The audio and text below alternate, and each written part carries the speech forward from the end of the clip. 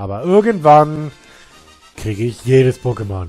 Und auch dieses Regi-Eleki, nach circa 20, 30 Hyperwellen, ist es dann doch noch in den Ball gegangen. So, das ist Typ Elektro, tatsächlich. Und, äh, nein, ich möchte es nicht äh, nehmen. Also werde ich das definitiv ins Team holen und ich werde es für Zapdos ins Team nehmen. Weil dann habe ich ein Elektro-Pokémon im Team. So, du vermerkst den Stand der Dinge in der Legend-Notiz Nummer 2. Ah, lass das erste Pokémon einen Stein tragen, das es unveränderbar macht. Das war der Ewigstein. Okay, das steht ja auch da. Schon nur einen Schneekristall als Frigometrie brauchten wir dafür. Verrückte Geist. So, lass ein Geräusch, helles Geräusch ertönen, das den Stahlgiganten erweckt. Da habe ich ein bisschen lange überlegt, dachte ich mir, hey, was ist ein helles Geräusch, wie soll ich das machen? Ja, es ist ganz einfach, man muss einfach nur pfeifen. Und auf einmal stand Registil vor mir. So, und als ich die drei Giganten vereint habe, also Regeis, Registil, Regirock, tauchte das Regi-Duo vor mir auf. Eins können wir davon erwecken. Ich habe mich für den vom Typ Elektro entschieden mit Wiki Eleki. Ja, und damit haben wir das Thema auch erledigt. Der Weg war ein bisschen äh, mühsam hierher, am Ende war der dann doch relativ simpel. Wir sind im Dreiwegpass, haben dafür die TP Donner und noch irgendwas gefunden, aber jetzt erstmal gucken wir mal bei beim guten Dings dabei. Jetzt können wir nämlich das Gute jetzt, jetzt können wir nämlich immer hierher fliegen, also das ist jetzt nicht tragisch. So, reisen wir zurück zu Pioni und dann gucken wir mal, was der so noch zu erzählen hat. Ah, Expeditionsleiter, navigieren die Erkundung voran. Äh, Legende Giganten. WG Lecky. Was sagst du da? Das ist legendäre Pokémon Regi Lecky gefangen. Super nice, wenn er Bericht hören. Hm. Das ist Christian was soll also Regi Lecky sein, der Elektrogigant. Geht's mir nur so, dass ich daran bisschen an diese Brausebonbons, die so schön im Mund knistern. Es muss ein unfassbaren Gleichgewichtssinn sitzen, um sich mit diesem Körper auf dem Bein halten zu können. Echt elektrisierend. Jedenfalls ist das eigentlich der Elektrogigant. Dieser Erkundung kannst du schon mal als Erfolg verbuchen. Und damit hast du alles zu den legendären Giganten aus der Legende Notiz Nummer 2 berichtet. Nice, dafür merke ich diese Expedition gleich mal erledigt. Oh, check. Damit haben wir das erledigt. Yay. Wenn ich mich irre, dürfte das alles sein, was es zu berichten gab, oder? Dann klemme ich mal zu ewig viel Taten hinter die anderen Legenden. Äh, Moment mal. Hey, warte mal, Expeditionsleiter. Damit hast du ja alle legendären Expeditionen die die ich im Angebot hatte. Dann, wenn das mal nichts ist, dazu fällt mir nur ein. Super nice. Mit der Ehrgeiz und Leidenschaft hatte ich gar nicht, so, äh, gar nicht so gerechnet bei dir. Schließlich handelt es bei der Expedition um nur ein paar äh, Albernheiten, die ich aus Lust und Laune zusammengeschustert hatte. Aber du hast dich trotzdem voll reingehängt. Aber du bist dich dabei äh, nicht ernsthaft legendäre Pokémon im Weg gelaufen, oder? Klar. Na warte, du brauchst ja nichts zu sagen. Dein Gesicht Bände, weißt du? Scheint, als hätte ich ein super nices Abenteuer erlebt. Aber diese Erfahrung kann ich dir keiner nehmen. Hast es quasi dein persönlicher Schatz. Diesen besonderen Moment will ich dir nicht malig machen, indem ich äh, dir mit äh, neugierigen Fragen auf den Keks gehe. Also Yoshi, danke nochmal, dass du so viel Spaß auf deiner Expedition hattest. Hier ein kleines Dankeschön von mir. Oh, ich habe eine seltene Liga-Karte vom Pioni erhalten. Aber irgendwie will ich das Gefühl nicht los etwas vergessen zu haben. Ja, genau. Das hat man nämlich am Anfang des Abenteuers. Und äh, ja, da ist er doch. Dann steht, dann hat es doch gar nicht, hört man bis nach draußen. Das ist echt peinlich. Wieder mein Goldstück. War nette Hütte, die du abgestiegen bist. Äh, echt nicht schlecht. Hier lässt es sich wirklich leben. Ach, du bist, Yoshi, äh, bist es, Yoshi. Ist schon eine Weile her, seit wir uns vom Riesennest getroffen haben. Hm? Hast du ganz schön Zeit gelassen, ne? Ja, sorry, dass es so lange gedauert hat. Oh, du hast die ganze Zeit meinen Alten bespaßt. Sehr cool, vielen Dank dafür. Ich bin bei den Dynamics-Abenteuern echt voll auf meine Kosten gekommen. Aber jetzt brauche ich ein bisschen Abwechslung und wäre voll dabei für deine Dingster-Tour, Dad. Äh, äh, hä? Warum hast du auf einmal die Sprache verschlagen? Warum seid ihr so still? Moment, gib mir mal einen Moment, Liebes. Ich muss schnell ein paar Legenden für dich finden. Glaube ich schon nicht lange. Dann kann unser Vater-Tochter-Abenteuer endlich losgehen. Was? Du musst noch schnell welche finden? Ah, Moment, schau da mal einen runter, Mann, ey. Ja, ja, natürlich. Du machst, ich habe hier was für dich, mein Goldstück.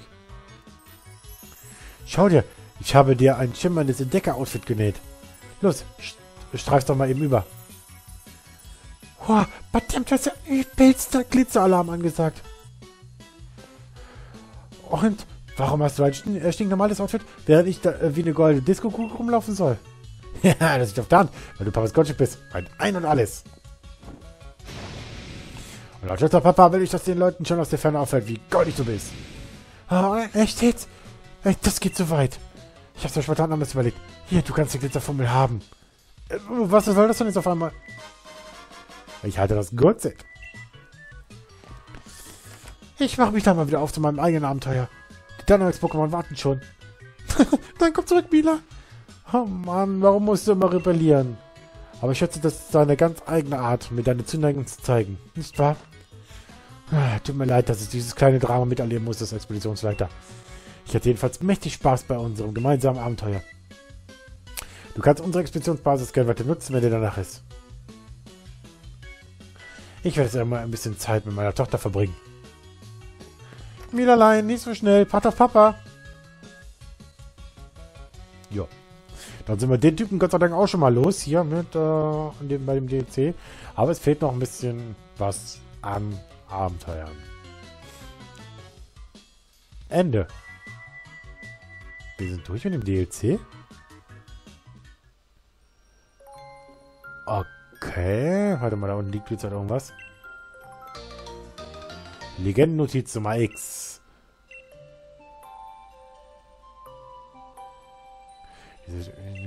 Okay. Ein rätselhaftes Loch. Äh, gültig im Ausmaß und verboten. Unsere Welt.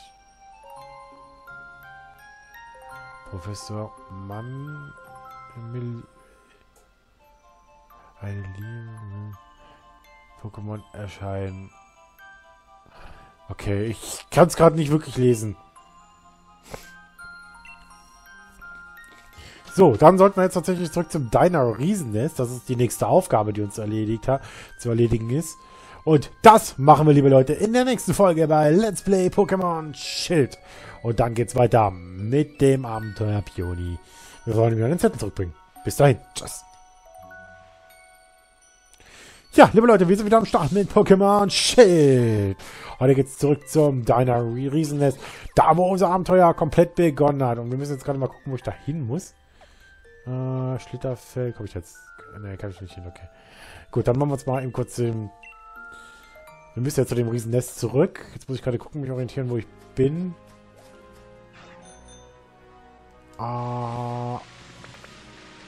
Moment, Moment. Da unten, ja. Okay, alles gut. Ich hab's gefunden. Ah, vorher noch so ein Item hier einsammeln, mal eben kurz. Nehmen wir lieber. Dann gucken wir mal, was uns hier heute so erwartet.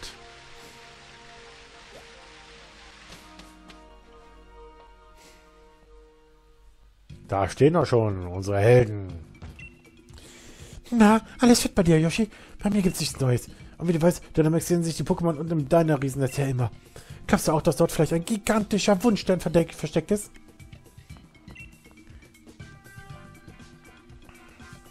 Hey, wenn das nicht unser Expeditionsleiter ist, persönlich schön dich zu sehen. Endlich komme ich mal dazu, ausgiebig Zeit mit meinem Töchterlein zu verbringen. Hm, was sagst du da? Du hast an meiner Basis etwas gefunden, das wie meine, einer meiner Notizen aussieht. Das ist mega. Da kann ich mich eigentlich nicht über erinnern. Nanu, der hat hier auf der Notiz vermerkt, ist, das ist doch das de deine Riesennest, oder? Äh. Huch. Was ist denn los? In deiner Riesennest sind Kreaturen aufgetaut, und zwar haufenweise. Keine Ahnung, ob das überhaupt Pokémon sind. Äh, was sagst du da? Ah, wie es scheint, ist ein Ökosystem aus einer anderen Welt in unsere eingedrungen. Ob das mit der Ultraforte zusammenhängt, die sich für einen kurzen Augenblick aufgetan hat? Äh, was? Ultraforte? Also das erinnert mich jetzt gerade ein bisschen an Pokémon Ultrasonne Ultramond. Oder ist das. Jetzt, gehen wir jetzt quasi in die Welt zurück?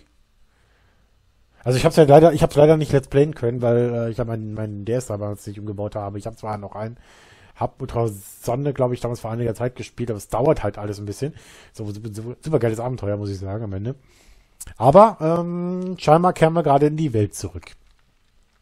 Dementsprechend wird wahrscheinlich Solga, Leo und ich weiß gar nicht, wie das andere Gegenstück dazu heißt. Wahrscheinlich demnächst irgendwann bei uns auftauchen. So wie ich gehört habe, kann man wohl hier alle Legend legendären Pokémon fangen. Mal gucken, die haben noch ein bisschen was zu tun, auf jeden Fall, mit der Story hier. Äh, klingt ganz so, als ginge gerade etwas völlig Unglaubliches vor sich. Weißt du, was das bedeutet, oder? Da steht wieder ein neues Abenteuer für dich in den Startlöchern. Und ich weiß schon ganz genau, welchen Titel es tragen wird. Legendärer Anblick, ein ultra großes Loch klafft am Himmel. Hä? Na, der Titel ist erste Sahne, oder? Jedenfalls war das nächste Abenteuer auf dich. Schnapp dir diese äh, Pokémon, von denen der Zettel spricht. Weil es keine Pokémon sein sollten. Ich schleudere den beiden in die Hand. Gut, dann gucken wir mal, was uns jetzt hier heute ja, wartet. Ein neues Abenteuer auf jeden Fall jetzt, was uns jetzt äh, noch bevorsteht. Ja, und dann geht's los. Ah, ich kann dir diese fantastischen Ware im Tausch gegen deine jetzt anbieten. Wir haben sechs Stück. Okay, wir gucken mal, was wir hier so kriegen.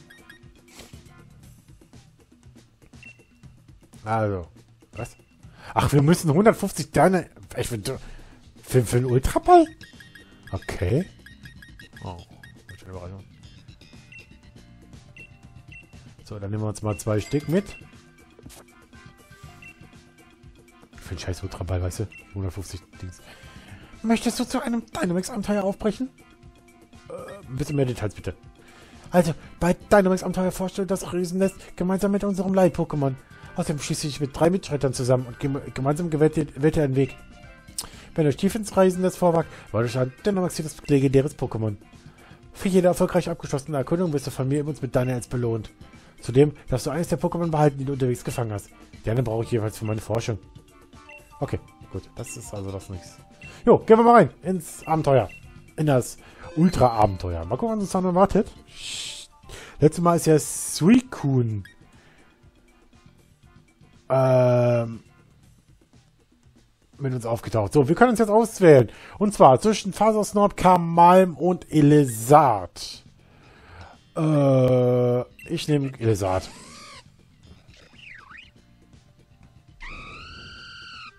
Fasersnord, Fiaro und Relikant sind die anderen Pokémon, die uns jetzt mit auf einem Abenteuer begleiten.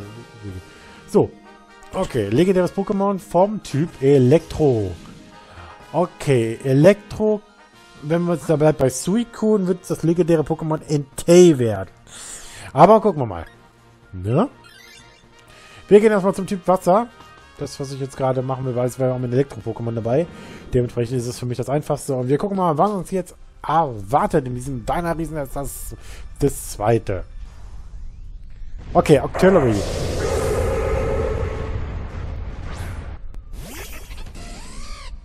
So.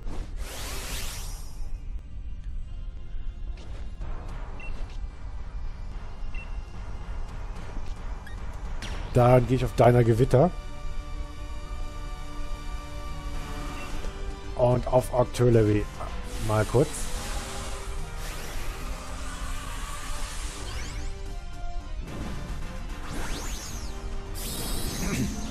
Aber wie gesagt, ja, ich da so was von Ultra erzählt habe. Ich vermute, dass es Entei sein wird.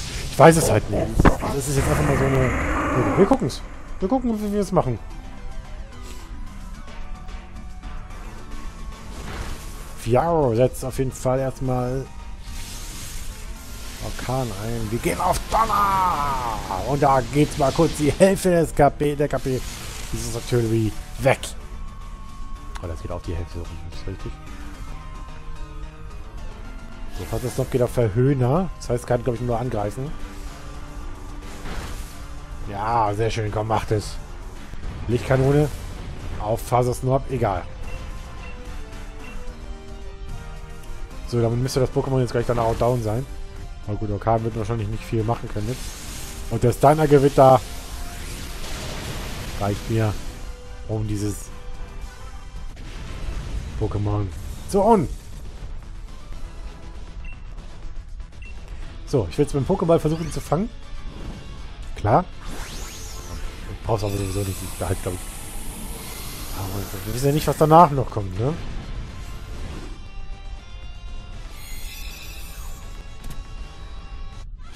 So, Claudio ist auf jeden Fall erstmal im Sack.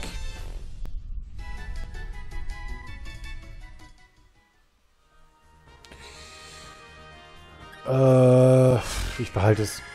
Okay, Damian nimmt sich das. Dann ist gut. Dann bleibe ich bei Typ Wasser. Gehe ich da hoch? So, eine Forscherin eure Pokémon sind bestimmt erschöpft. Ich könnte Ihnen eines von Ihnen gegen ein anderes Pokémon austauschen.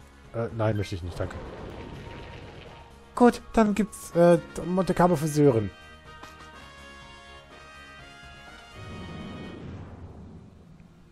So, ein weiteres Wasser-Pokémon, was uns jetzt ins Haus steht, ist... Uh, ein Starmie. Uh, wenn Starmie nicht schlecht ist, kann ich tatsächlich sogar tauschen. Also Elektro-Pokémon, ne, das macht keinen Sinn. Glaube ich, ging, ging ja in ein Final an Elektro-Pokémon. Deswegen geht es auf jeden Fall erstmal auf Starmie mit Elektro-Ball. Ah, geht auf den... Juwelenkraft ist, ist Gestein. Okay, ja, egal, alles gut. Krabbelkracher, was ist das für eine Attacke? Ja gut, er hat das äh, Octillery aus der aus dem letzten Versuch. WT. Ohrstrahl. Und damit pusht es sich sein Spezialangel. Ah.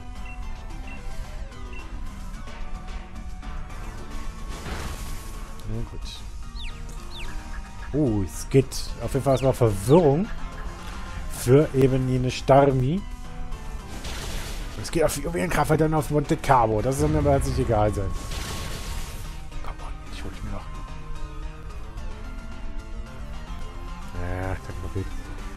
Hör auf mit dem... Ah, wollte sagen. Ach, du gehst... Ach, das ist Dings... Ach, das ist eine äh, Attacke. Okay. okay. Gut, dann machen wir es jetzt kaputt. Jetzt wird's... Ja, Orkan killt diese Starmie und ich muss mal gucken, welche Attacken das beherrscht. Aber wir haben, glaube ich, danach... Na gut, daher mitnimmt.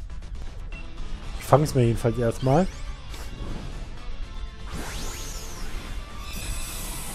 Ja, dann haben wir doch ein bisschen was geschafft. Muss ich sagen. Ja, Aufnahmesession. So, okay.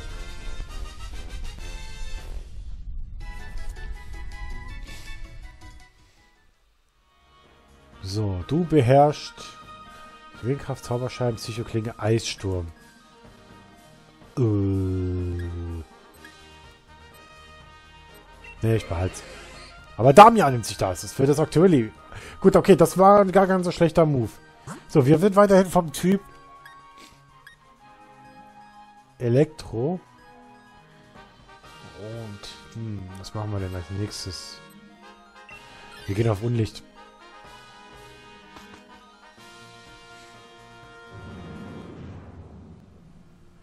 So, mal gucken, was uns jetzt erwartet. Das, man weiß es halt vorher nicht, ne? Es ist ein Barrikadas.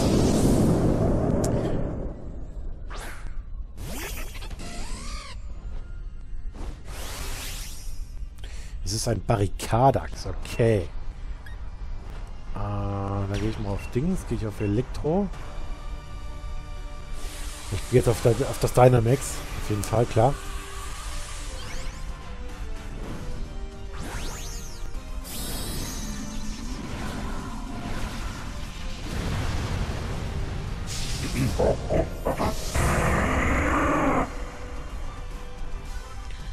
So, okay.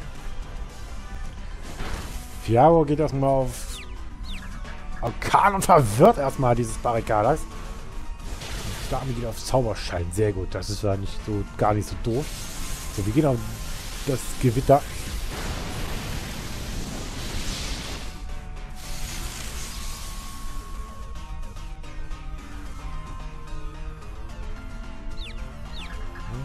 Du komm, jetzt verwirr dich am besten noch. Jawohl. Monte Carlo geht auf Rauchwolke. Okay.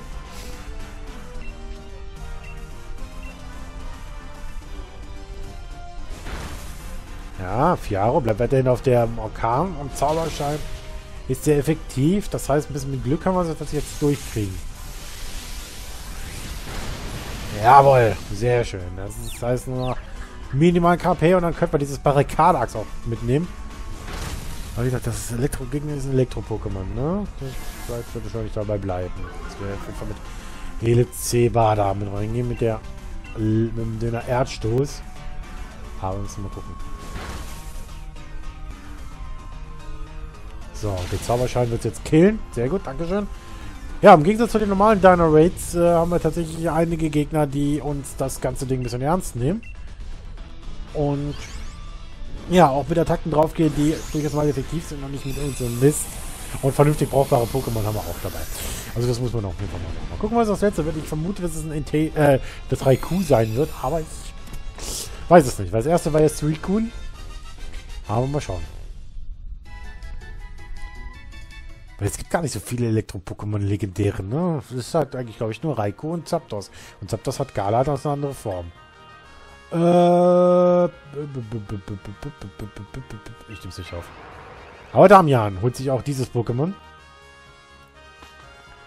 Und jetzt haben wir's. Und jetzt wird das große Geheimnis gelüftet, welches Pokémon tatsächlich uns als legendäres bevorsteht. Ich vermute, dass es ein äh, Raikou sein wird. Und es ist... Es ist tatsächlich Zapdos. Ernsthaft? Ich habe Zapdos schon, also als in Gala-Form. Okay, damit habe ich jetzt nicht gerechnet, dass es tatsächlich das legendäre Zapdos sein wird. Ja, wie gesagt, ich hatte vermutet, es in der Gala-Form... Ja, Na gut, müssen wir es einfach versuchen, so zu richten. Es wird wahrscheinlich nicht einfach sein, es zu fangen. Das ist doch ne? Klar, das ist vier versucht zu braten. Das hat es auch super hingekriegt. So, jetzt muss ich zu Monte Carlo. Muss mal gucken, dass es so... Oh, ja, das wird nicht einfach werden, definitiv nicht. Gut.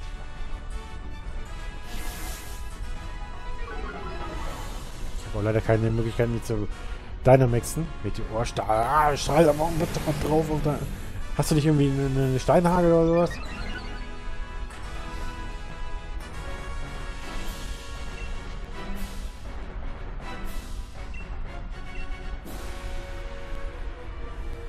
Agilität.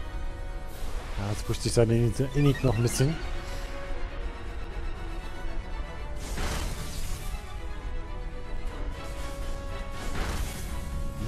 Weiter so, genau. So, jetzt geht's mal mit die Räusche. Ja, das war nicht schlecht. Das war gut, ne? gut. Sehr geile Attacke. Sehr gute Attacke. Definitiv Monte Carlo.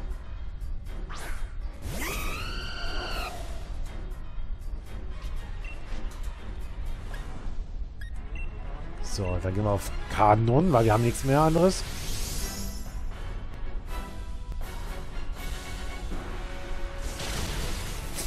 Es bleibt dabei. Das Fiaro kommt zurück und kriegt direkt wieder auf die Fresse. Puh.